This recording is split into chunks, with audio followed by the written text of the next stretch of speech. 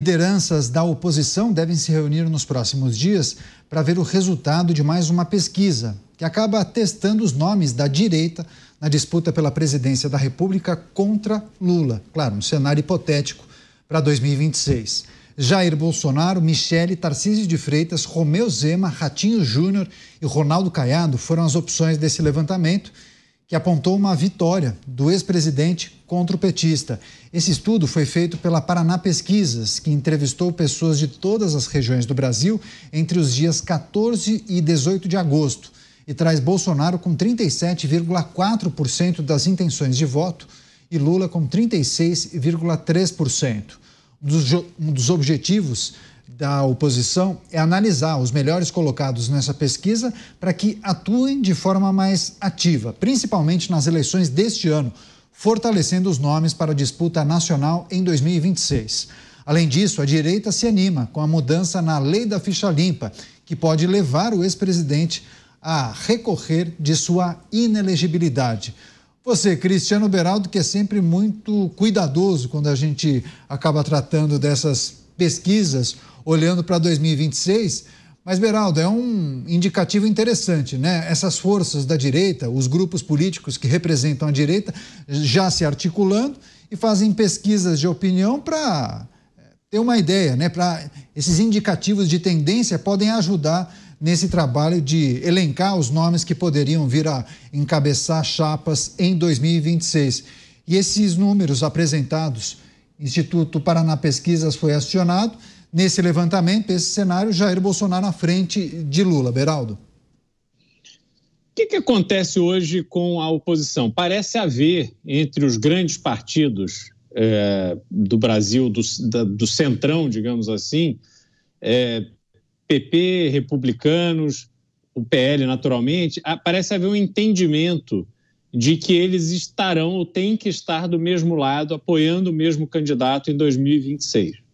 Então, se a gente imaginar que esse espectro mais amplo do ponto de vista partidário terá um candidato único, a gente precisa olhar a realidade que existe hoje do ponto de vista da popularidade, da viabilidade.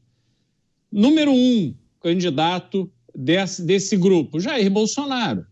Já teve quase 50% dos votos na última eleição, foi presidente da República, tem uma base de apoio muito sólida do ponto de vista de militância e tal, e tem é, é, é visto como aquela figura que mais antagoniza com Lula, com o PT, com a esquerda brasileira atualmente. Então, a, a, a preferência é dele. Mas Jair Bolsonaro está inelegível. Então, a disputa é para ver quem será o número dois? Não, também não acho que é. Porque o número dois natural, e as pesquisas mostram isso, Acho que hoje, se a gente olhar pesquisas de aprovação e rejeição, acho que Tarcísio de Freitas é quem melhor representa essa polarização. Ele tem quase 50% de aprovação e quase 50% de rejeição. Então, o número dois, natural, é Tarcísio de Freitas. Mas, claro, Tarcísio de Freitas é governador de São Paulo. Ainda tem o direito, a possibilidade de pleitear uma reeleição, né? e vem reafirmando, inclusive, isso aí a todas as pessoas que o perguntam a respeito. Então, se ele, Jair Bolsonaro não sendo candidato, não podendo ser candidato, e Tarcísio de Freitas não querendo disputar a presidência da República e permanecer na disputa para o governo do Estado, aí sim abre espaço para escolher quem virá a substituir esses dois. E aí sim, existe Romeu Zema, existe Ronaldo Caiado, Ratinho Júnior, e quem estará mais bem posicionado para essa disputa? Isso realmente só as pesquisas vão dizer, porque esses três, apesar de serem governadores muito reconhecidos nos seus estados, eles têm um, não têm hoje uma figura. Caiado já foi candidato a presidente em 1989, talvez dos que estão aí é o que maior tem penetração nacional mas é preciso ver como é que vai estar o ânimo do eleitor em relação a eles, para quem será mais fácil transmitir votos. E aí sim, ali às vésperas das convenções, é que essa decisão será tomada. Pois é, você, Davila, só relembrando a nossa audiência, nesse, nessa pesquisa, nesse levantamento que foi realizado, Alguns nomes da direita foram testados, como Jair Bolsonaro, Michele Bolsonaro, Tarcísio de Freitas, Romeu Zema, Ratinho Júnior e também Ronaldo Caiado. Daí tem um recorte que a gente destacou. Jair Bolsonaro apareceu à frente com 37,4% das intenções de voto e Lula com 36,3% em um cenário hipotético. Disputa para a presidência em 2026. É cedo, mas indica a tendência, né, Dávila? Por favor. É cedo mesmo, Caniato, e não traz nenhuma novidade a pesquisa. Mostra o que é óbvio. Bolsonaro continua liderando e atrás vem esses nomes que nós já comentamos aqui tantas vezes, né? Tanto Ratinho Júnior, como Caiado, como o próprio Tarcísio e, e como Romeu Zema. Então não tem nenhuma novidade. O que é importante é se essa direita estará unida ou não. E essa é a minha batalha aqui diária, é para tentar unir a direita em torno de um nome. Porque se tiver unido, aí essa direita, ao meu ver, se torna favorita absoluta na eleição de 2026. E isso vai depender de muitas coisas. Vai depender, primeiro, se esses governadores vão continuar gozando dessa popularidade, dessa notoriedade até o fim do seu mandato, que é um primeiro desafio.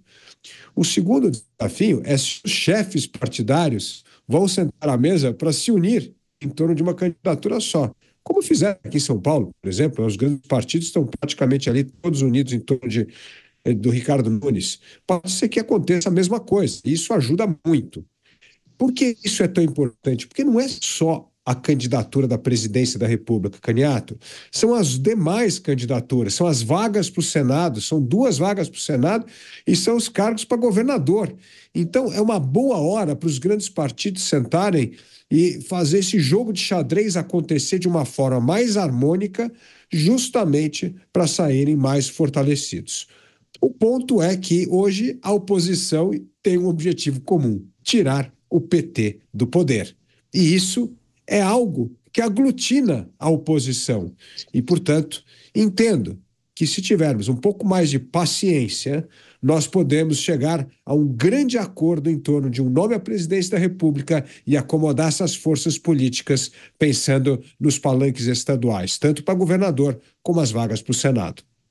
Você, Roberto Mota, as projeções para 2026, pesquisas que já indicam alguns nomes. O Dávila fala na necessidade da união da direita. Temos aí figuras bem diferentes, bem distintas, partidos que até se intitulam de direita ou mais conservadores, mas se você for analisar, são bem diferentes, né? Tem até muito político fake de direita, né? Que fala que é de direita, mas na verdade adora estatal, cargos, etc, né, Mota? É, Caniato. Inclusive, a gente falou isso hoje no Conexão Mota, que vai ao ar daqui a algumas semanas. Ah, foi uma conversa muito interessante. Falamos exatamente sobre isso, sobre esse fenômeno curioso da pessoa que é, se diz de direita, mas as ideias dela são todas de esquerda. Né? A gente fica meio confuso. A grande questão que a gente precisa resolver primeiro, para poder prosseguir com essa conversa de uma forma mais eh, informada, é se Jair Bolsonaro vai ou não, vai, vai poder ou não, vai querer ou não ser candidato em 2026. É a partir daí que a gente faz as outras análises. Né? Agora, vamos assumir por um momento que Bolsonaro não possa ou não queira ser candidato em 2026. As opções de candidatos de direita, e aí é que eu vou falar aqui, de direita genuínos, né? são muitas e muito boas.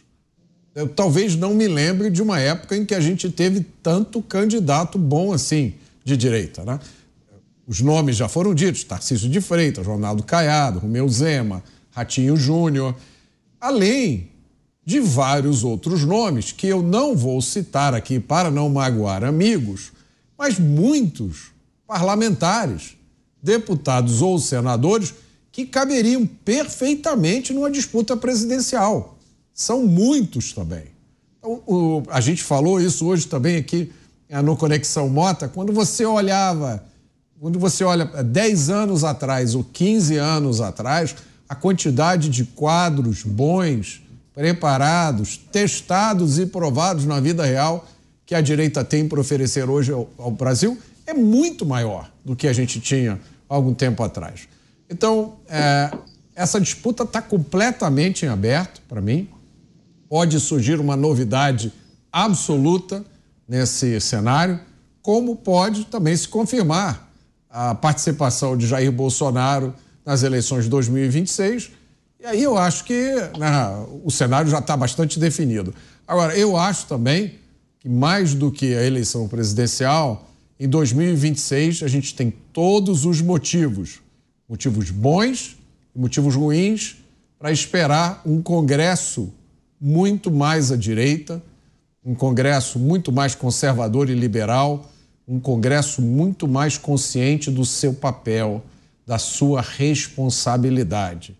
E isso é uma notícia muito boa para o Brasil.